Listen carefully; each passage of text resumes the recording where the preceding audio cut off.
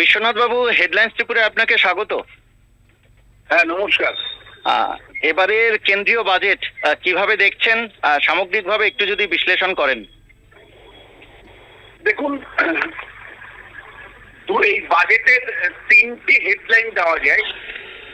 একটা হলো যে এই বাজেটের জোট সঙ্গীকে সন্তুষ্ট করার বাজেট জোট সঙ্গী জানেন নরেন্দ্র মোদী বিহারে নীতিশ কুমার জন- জন- জনতা দল ইউনাইটেড, আর অন্যদিকে অন্ধ্রপ্রদেশের চন্দ্রবাবু নাইডুর জিডিপির উপর অনেকটাই নির্ভরশীল হয়ে সরকার চালাচ্ছেন। ফলে এই বাজেটে পরিষ্কার জোটদের যে চাপ, সেই চাপের প্রভাব কিন্তু এই বাজেটের মধ্যে পরিষ্কার আছে। বিহারের জন্য ছাব্বিশ হাজার কোটি টাকা বিভিন্ন প্রকল্প এবং অমরাবতীর উন্নয়ন সমেত অন্ধ্রপ্রদেশের জন্য পনেরো হাজার কোটি টাকা সরাসরি বাজেট থেকে যাচ্ছে। ফলে এই বাজেটের একটা বিষয় খুব পরিষ্কার যে দেশের সরকারের সাহিত্যের প্রশ্নের সাথে এই বাজেট তৈরির একটা সরাসরি সম্পর্ক আমি দেখতে পাচ্ছি। মধ্যবিত্তদের জন্য হ্যাঁ বলুন আপনি বলুন। দ্বিতীয় দ্বিতীয় যে অভিমুখটা বলব সেটা হলো যে সরকার সর- সর্বস্তরের মানুষকে সন্তুষ্ট করবার চেষ্টা করেছেন অর্থাৎ সরকার কোনো রিস্ক নেয়নি। এটাকে আমি আপনি যদি আমায় বলেন, তাহলে রিস্ক ফ্রি রিস্ক যেমন শরিক দলের উপরে রাখেননি, শরিক দলকে সন্তুষ্ট করেছেন, তেমনি কোনো রিস্ক তিনি মানে আমাদের অর্থমন্ত্রী অতিরিক্ত নেননি। এবং তিনি প্রায় সমস্ত বর্গের মানুষকে সন্তুষ্ট করবার চেষ্টা করেছেন তার এই বাজেটের মধ্যে মধ্যবিত্তকে বিশেষ করে। মধ্যবিত্তকে বিশেষ করে আমি বলব যে সন্তুষ্ট করবার চেষ্টা করেছেন আমাদের অর্থমন্ত্রী। যেমন অল্প পরিমাণে হলেও তিনি স্ট্যান্ডার্ড ডেভিয়েশনটা স্ট্যান্ডার্ড ডিডাকশনটাকে বাড়িয়েছেন, পঞ্চাশ হাজার থেকে পঁচাত্তর হাজার টাকা করেছেন। সব মিলে মানে মধ্যবিত্ত যারা স্যালারি পার্সন তাদেরকে সতেরো হাজার পাঁচশো টাকার একটা ইনকাম ট্যাক্সের রিলিফ তিনি দিয়েছেন। খুব বিরাট কিছু রিলিফ নয়, কিন্তু মানুষের মধ্যে একটা ফিল গুলিং মানে কর্মচারীদের মধ্যে, সরকারি কর্মচারীদের মধ্যে বা স্যালারি বেতনমুখী মানুষের মধ্যে একটা ফিল তৈরি হবে, যতই কম ছাড় হোক না কেন। একইভাবে তুমি আমরা যদি লক্ষ্য করি একটার পর একটা সেক্টর ধরে যদি আলোচনা করি, তাহলে আমরা পরিষ্কার দেখতে পাবো যে প্রত্যেকটা ব্যয় বরাদ্দ তিনি বাড়িয়েছেন। যেমন ধরুন হাউজিং সেক্টরে তিনি তিন কোটি বাড়ি নির্মাণের কথা ঘোষণা করেছেন। তিন কোটি বাড়ি তার মধ্যে এক কোটি শুধুমাত্র শহরের গরিব মানুষের জন্য তৈরি করা হবে। তিন কোটি বাড়ি নির্মাণ যদি করা হয়, আর্থিক দিক থেকে কিন্তু একটা গতি আসবে। কারণ বাড়ি নির্মাণ কেবল সরকার টাকা দিচ্ছে আর এক- একজন মানুষের বাড়ি তৈরি হচ্ছে তা তো নয়। এখানে বিপুল পরিমাণে কর্মসংস্থান হবে এবং বিভিন্ন মেটেরিয়ালের চাহিদা বাড়বে, উৎপাদন বাড়বে। এই এই ইকোনমিক সাইকেলটা গতি পায়। ফলে এটা সরকারের একটা বিরাট বিনিয়োগ, সেটা সরকার ঘোষণা করেছে। সরকার এটা ঘোষণা করেছে যে Mahatma Gandhi national rural employment guarantee scheme MGNREGS তার ব্যয় বরাদ্দ সরকার অনেকটাই বাড়ানো বাড়ানোর উদ্যোগ নিয়েছেন এই বাজেটে অন্তত ঘোষণা করা হয়েছে। শেষ পর্যন্ত কোথায় গিয়ে দাঁড়াবে সেটা তো আমরা দেখব। একইভাবে বেকারদের জন্য কিন্তু এই বাজেট সরাসরি সরকারি চাকরি দেওয়ার কথা বলেনি। কিন্তু বেকারদের জন্য কিন্তু একাধিক বার্তা এই বাজেটের মধ্যে রয়েছে। তার মধ্যে আমি বলব স্কিল ডেভেলপমেন্টের জন্য যেমন প্রকল্প কথা ঘোষণা করা হয়েছে যে কুড়ি লক্ষ যুবক যুবী যুবক যুবী যুবকদের, যুবতীদের, তারা যদি কোনো অর্গানাইজ সেক্টরে চাকরি পায়, প্রথম মাসের বেতন সরকার দেবে। এটা আমার মনে হয় সবচেয়ে গুরুত্বপূর্ণ ঘোষণা। একই সাথে এক কোটি আটচল্লিশ লক্ষ স্টুডেন্টকে এমপ্লয়মেন্ট এডুকেশন লোনের মানে সুযোগ করে দিবে।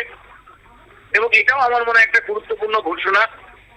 যারা উচ্চ শিক্ষা করতে চান, যারা শিক্ষা ব্যবস্থায় থাকতে চান, তারা সহজ শর্তে মানে শিক্ষার লোন পাবেন। এবং এটা সরকার অনেকটাই বলা যায় যে ভর্তুকি উপর ভিত্তি করে কিন্তু ছাত্রদের জন্য সুখবর রেখেছে।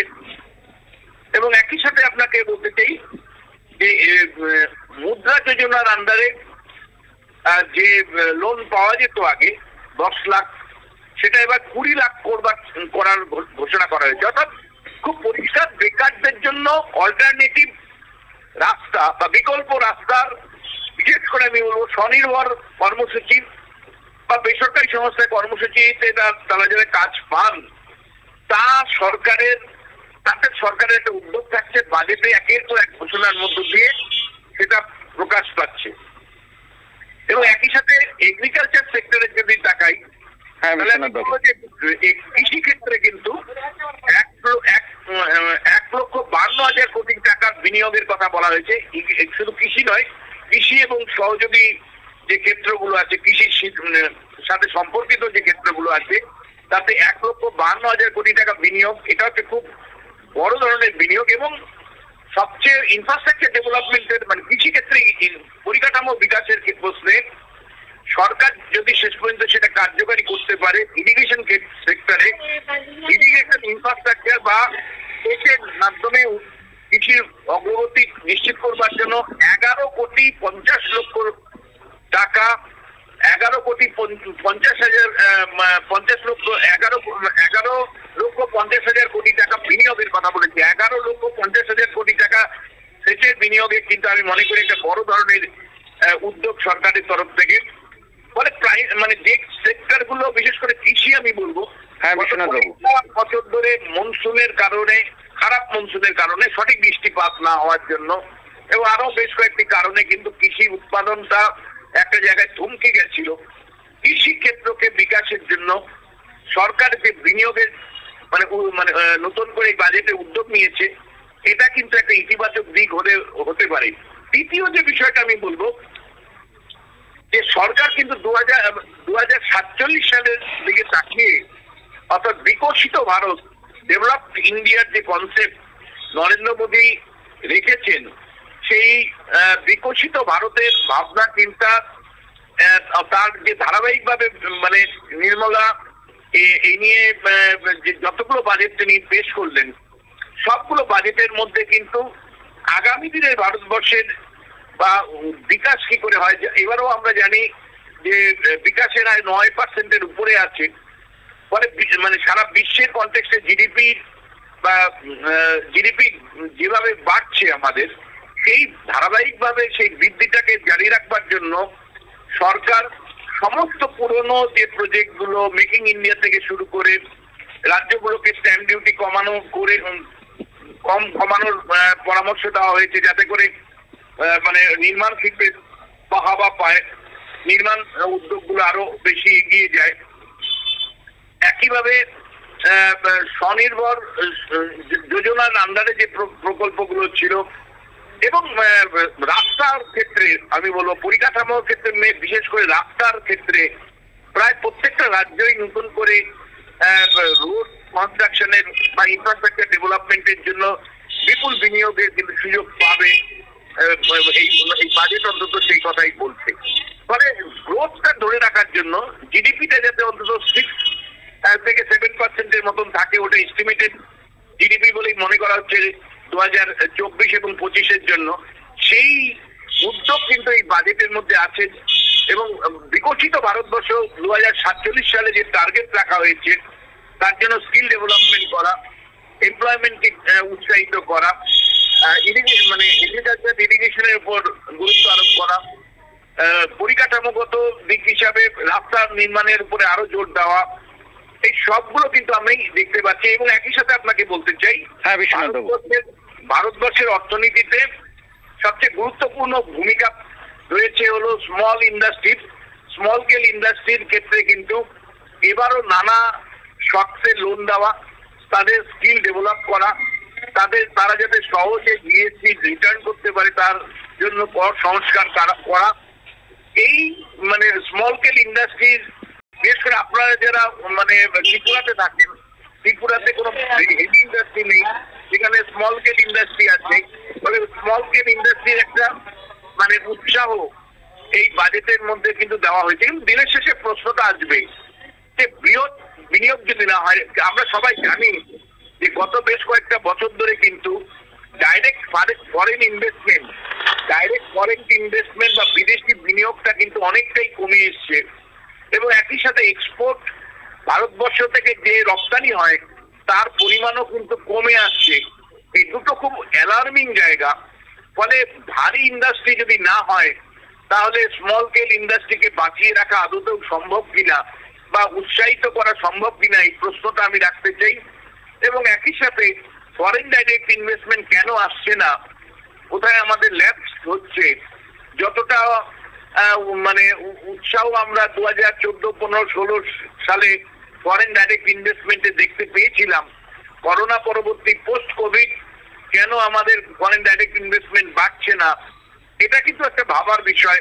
কারণ মানে বড় বিনিয়োগ না হলে, ভারী শিল্প না হলে স্মল এবং স্মল স্কেল ইন্ডাস্ট্রিকে বা মিডিয়াম স্কেল ইন্ডাস্ট্রিকে বাঁচিয়ে রাখা বা প্রসারিত করাটা কিন্তু সহজ নয়।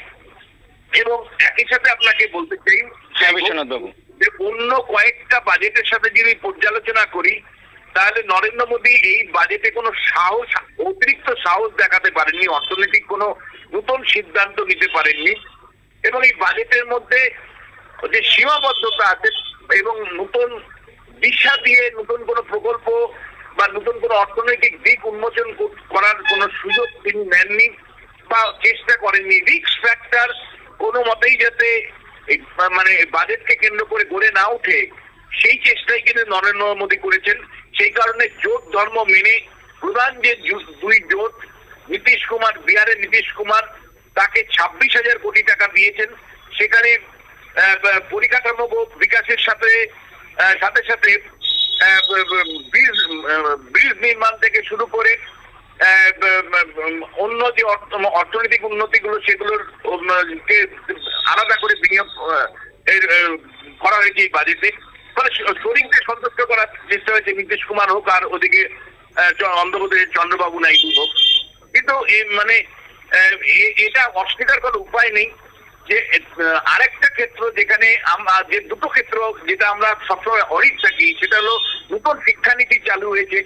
আমরা নতুন শিক্ষানীতি অনুসারে যে যেভাবে কারিকুলাম তৈরি হয়েছে, তাতে অধিক শিক্ষক দরকার, পরিকাঠামো দরকার, অর্থাৎ বাজেটে আরও বেশি পরিমাণে মানে শিক্ষার বিনিয়োগে, শিক্ষাক্ষেত্রে বিনিয়োগের প্রয়োজন ছিল।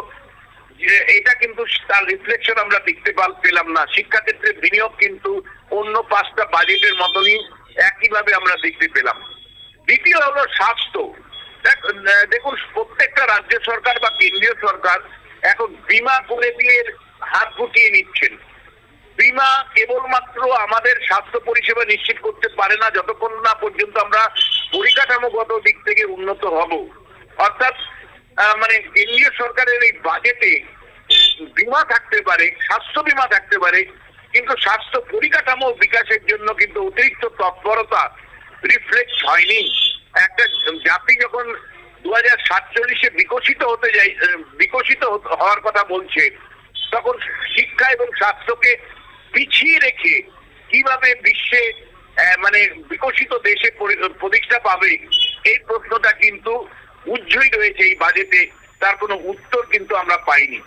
এবং একই সাথে আপনাকে বলব, ইতিবাচক দিকের একটি দিক, সেটা হলো যে ট্যুরিজম ডেভেলপমেন্টের জন্য সরকার গত কয়েকটা বাজেটে যেমন নজর দিয়েছিল এই বাজেটেও কিন্তু আমি দেখলাম। নির্মলা আলাদা করে কিন্তু ট্যুরিজমের উপর গুরুত্ব দিলেন এবং ট্যুরিজমকে সামনে রেখে তিনি একের পর এক কর্মসূচি ঘোষণা করেছেন। যেমন বিহারের বুদ্ধগয়া, রাজগীরকে কেন্দ্র করে টুরিস্ট সার্কিট নতুন করে পরিকাঠামো বিকাশের কথা বলেছেন। তেমনি দক্ষিণ ভারতবর্ষের একাধিক একাধিক মন্দির সংস্কারের কথা মানে যেটাকে আমরা পিলগ্রিমেজ ট্যুরিজম বলে থাকি সেই উদ্যোগ তিনি কিন্তু নিয়েছেন। ফলে টুরিস্টের টুরিস্ট ইন্ডাস্ট্রি ডেভেলপমেন্টের জন্য পরিকাঠামো বিকাশের জন্য বাজেটে স্পষ্ট একটা বার্তা গত বাজেটগুলোর মতন রয়েছে এটা একটা ইতিবাচক দিক। এবার একটা প্রশ্ন আসে আসে যে নর্থ ইস্ট কি পেল? উত্তর পূর্ব ভারতবর্ষ কি পেল?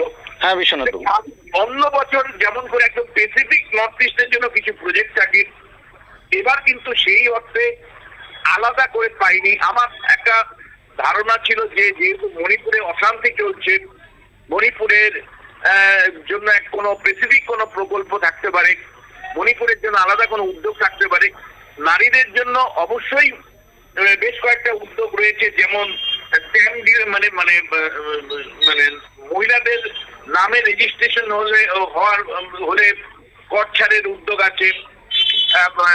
মহিলাদের মানে লোন লোনের ক্ষেত্রে মানে মানে বাজেটের বাজেট বরাদ্দের কথা বলা হয়েছে। মহিলাদের সক্ষমতার জন্য মানে সেলফ হেল্প গ্রুপ আরও এক্সপেনশনের কথা বলা হয়েছে। স্বনির্ভর গোষ্ঠী এক্সপেনশনের কথা বলা হয়েছে। স্কিল ডেভেলপমেন্টের মহিলাদেরকে আনা হয়েছে। কোটিপতি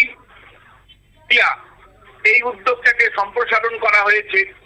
লাখপতি মহিলার কনসেপ্ট তো আগেই মানে সম্প্রসারিত ছিল। ফলে নারী বিকাশের জন্য আর্থিক উন্নয়নের জন্য একাধিক প্রকল্পের কথা হলেও উত্তর পূর্ব ভারতবর্ষের মহিলাদের জন্য আলাদা কোনো প্রকল্প আমার চোখে পড়েনি এখনও। দ্বিতীয় যেটা সেটা হলো আমরা জানি যে পরিকাঠামো বিকাশের জন্য গত কয়েকটা বাজেট কয়েকটা বাজেটে আমরা ত্রিপুরা সমেত একাধিক উদ্যোগ রেলের সম্প্রসারণ থেকে শুরু করে জাতীয় সড়ক সম্প্রসারণ একাধিক উদ্যোগ ছিল। এমনকি একেবারে মানে আসামের ভেতর দিয়ে মণিপুর হয়ে আপনার মানে মায়ানমার, থাই- থাইল্যান্ডের অর্থাৎ যেটাকে আমরা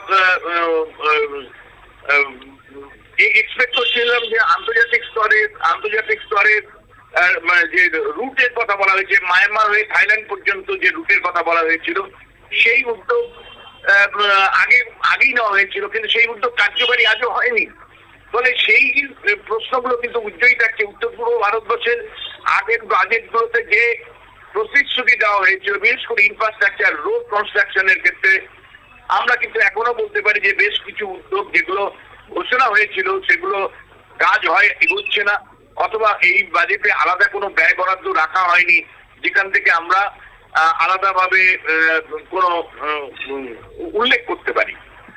ফলে সব মিলে নর্থ ইস্ট আর পাঁচটা বছরে যেভাবে যতটা গুরুত্ব পেয়েছিল এই বাজেটে ততটা গুরুত্ব পেয়েছে বলে আমার অন্তত মনে হয়নি।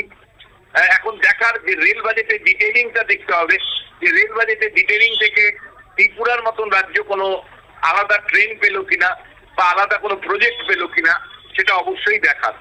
সব মিলে আমি বলব একটা ভারসাম্যমূলক বাজেট যেখানে সর্বস্তরের মানুষকে সন্তুষ্ট করবার চেষ্টা করা হয়েছে বাজেটে সেই কারণেই সরকারি কর্ম মানে সরকারি কর্মচারী বা বেতনভোগীদেরকেও সতেরো হাজার পাঁচশো টাকা রিলিফ একটা মানে স্ট্যান্ডার্ড ডিডাকশনের হাই করে অর্থাৎ পঞ্চাশ হাজার থেকে পঁচাত্তর হাজারে নিয়ে গিয়ে একটা রিলিফ দেওয়ার চেষ্টা করা হয়েছে।